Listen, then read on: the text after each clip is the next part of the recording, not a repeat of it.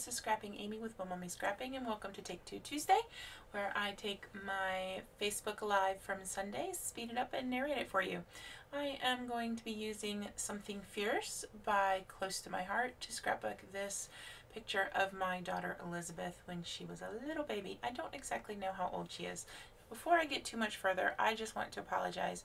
Facebook was being very strange, and so it will get grainy at some point and um, we actually had to stop and restart again because it it would not unfreeze so you'll you'll see when that happens but I'm going ahead and, and going through and showing the different papers that I have and I really love this dinosaur print because we struggled so much to find cute dinosaur stuff to put on Elizabeth as a girl.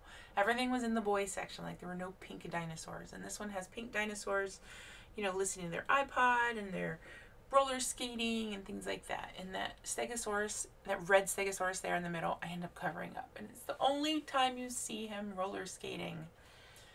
And I don't know what I'm doing. Oh, I'm showing the sketch I was using on on uh, on my phone. That's why I pulled that up. I never printed it off. So I matted that dinosaur paper um, on the dark green. And now I'm trying to figure out what color to mat the picture of Elizabeth on. The, um, excuse me, not what color to mat her on, what color to make the large square in the back. And I ended up going with the blue because the yellow I felt made her look too yellow and I didn't like it. Now the sketch has this curved part at the top. I end up not using that at all. Um, I didn't really feel like cutting a circle out. and I wanted those dinosaurs. See, there I am pointing out that the Stegosaurus um, was messed up. And there's where we had some issues. Um, so I think we're all back now. Uh, but now I'm trying to figure out what to mat the um, photo of Elizabeth in. And I've got the blue down, and then it's the sketch calls for some strips across the top. And um, for another square, not square, another piece of paper in the middle. So everything's kind of like lined up, but you'd give different widths on the edges, which is really nice. Um, because then you, it's not, it, it gives a bit of movement to it. So I've not done much of all at all. Um, actually, I've done nothing with this collection. This is the first time I've used it. So I have all the paper and I decide I want to cut into it. Like I want to use this paper. I have a strip of that green which I can't remember what it was on the back of. Oh, it was the back of the yellow. And I go ahead and mat the top part. I'm going to kind of do like a little messy stack. I end up only using four sheets of paper. So I've got that green. I've got this white with thin gray um, jagged lines on it. I used the red, which I didn't want to use earlier because it made Elizabeth look too red. And then I have this polka dot, which has a bunch of the colors that has that are all throughout the collection. And anytime I do a mat, I like to include something that has all the colors I'm using in my stack of mats. I think it ties everything together. So I actually pulled out some washi tape and I'm remembering to use it. Half the time I pull it out and then I forget. So I'm using that for my strips across the top. And this is eventually going to be where the title is going to go. So I have the green, which is just generic washi, and then I have my favorite yellow chevron tape, and then some pink stripe tape. The pink and the yellow are both Bella Boulevard's paper tapes, and I love them. And then I have this sketchy um, print, and it does have dinosaurs on it, but it has words like cool and.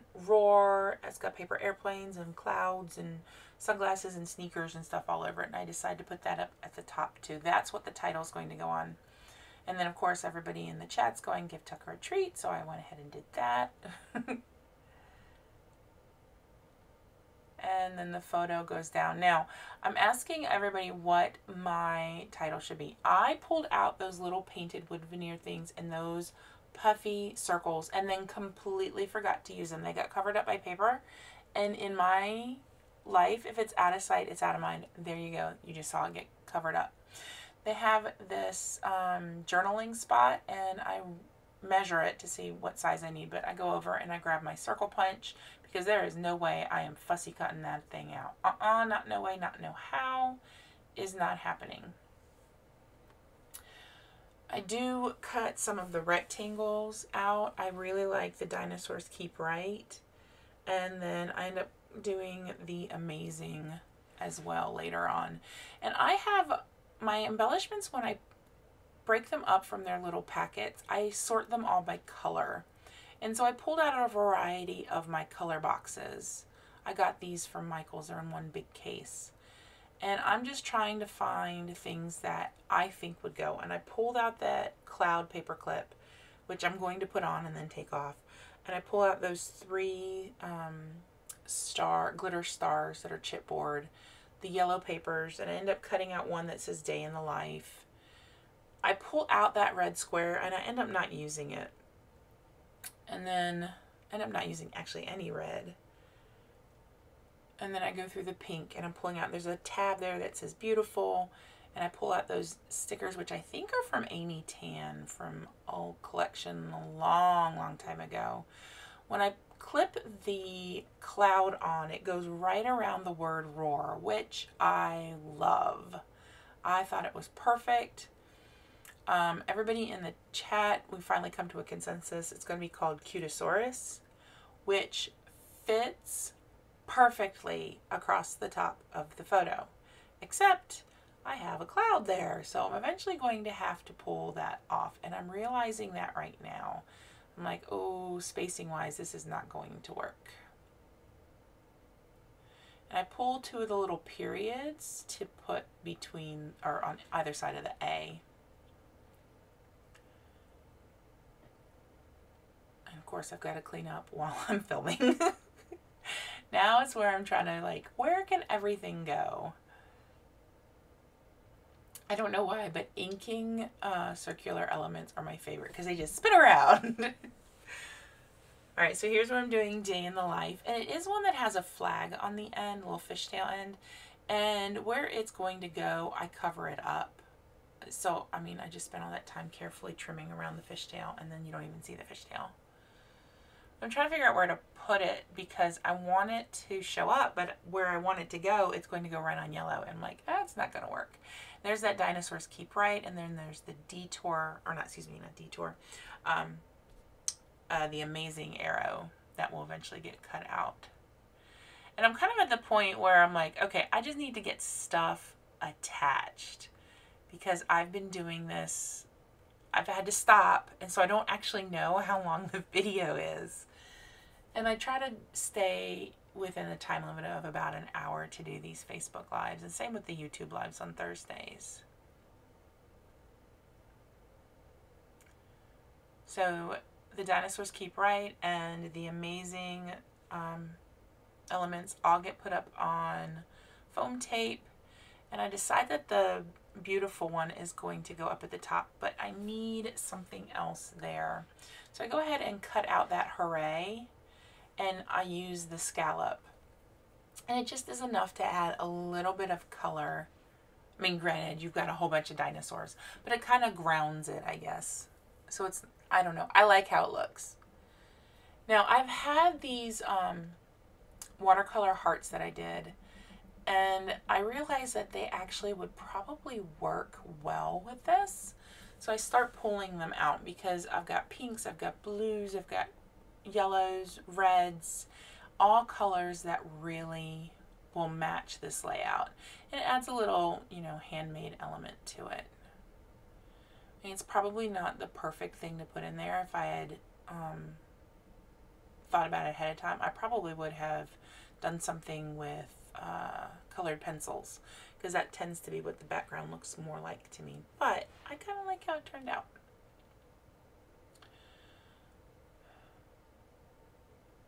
So I'm just adding them all in groups of three and I'm trying to balance out the colors so like the one on the dinosaurs keep right sign um, it's a very yellow heart so I made sure to put it on top of the blue and you'll see I actually come back to that because I'm not pleased with the, the left side of that heart you can't really see well.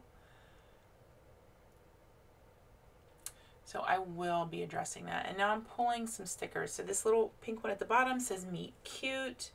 The one by The Beautiful says Keeper. And then the one by The Amazing Sign says You Make Me Happy. I'm going to be finishing this up and you saw me pick up my Nuvo, so you know I am almost done. So the Nuvo drops I use on this are the Nuvo glitter drops. I use Yellow Bird, Sunlit Meadow, and Blue Lagoon.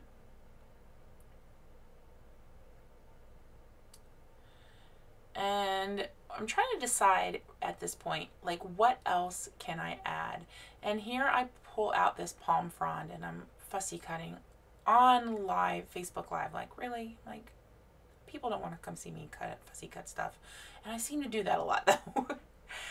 but there aren't any embellishments that I purchased that went with this collection. Um, I just purchased the paper. I should have gotten some of the embellishments.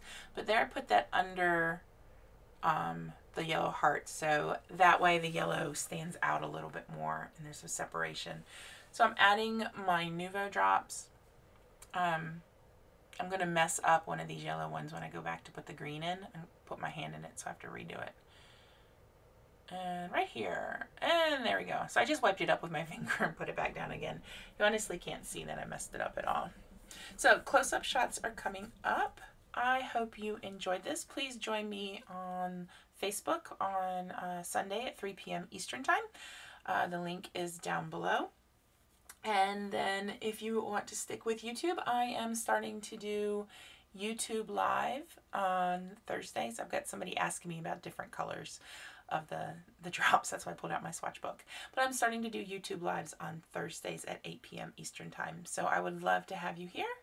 Um, and I hope you guys all have a lovely day. Bye.